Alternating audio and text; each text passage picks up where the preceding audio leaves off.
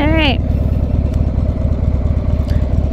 First rustic road of 2020.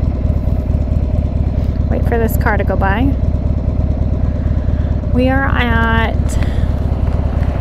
rustic road 48.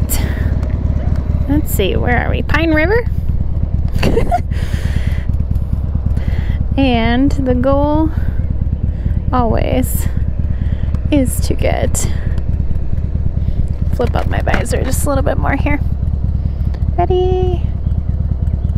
Smile bike. You have to get a picture of, oh, not myself, of the bike and the rustic road sign. So that way you know you had done it. And I'm gonna go ride it. So it's about two miles, and I'll let you know how it is after the fact. And I'll take you along with me, of course, for the ride. What's interesting, and if you do your research, you're gonna know. But if you don't do your research beforehand, one, they're really hard to find as far as like a Google map goes. I'll let this guy go by.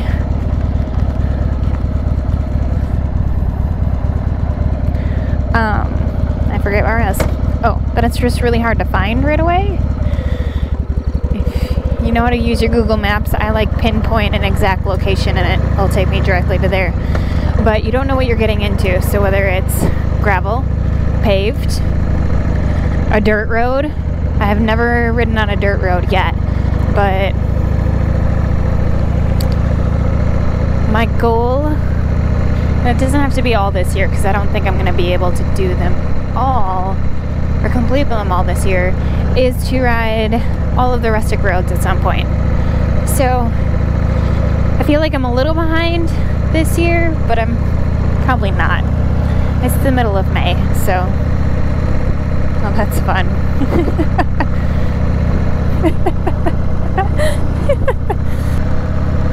but I want to complete them all at some point. So if I'm able to and I can get most of them in this year, that would be awesome. But there are over a hundred of these rustic roads all throughout the state of Wisconsin. And I've covered most of my like central Wisconsin ones because that's where I'm located. But I want to so badly get up in the like northwest part, like right along the Mississippi River too. There's so many up in that like St. Croix area that I think would be just epic. So I'm gonna hold off on doing those. If I can do them with my husband next year, that would be pretty cool. Um, if I can't, I'm gonna just do them this year and then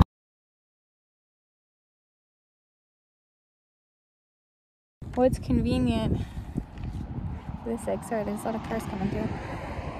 What's convenient is that literally right in this intersection here, my County W and 26th Road is actually another rustic route.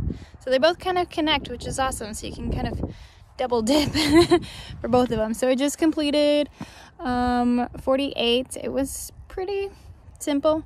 It was uh, less than a two mile route, I believe, or it probably was a two mile route.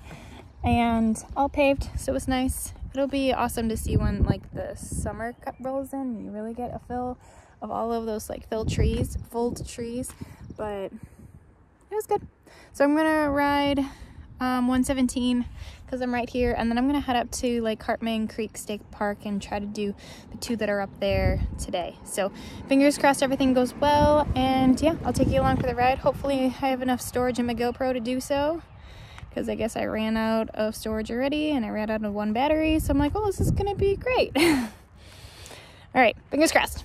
See you guys.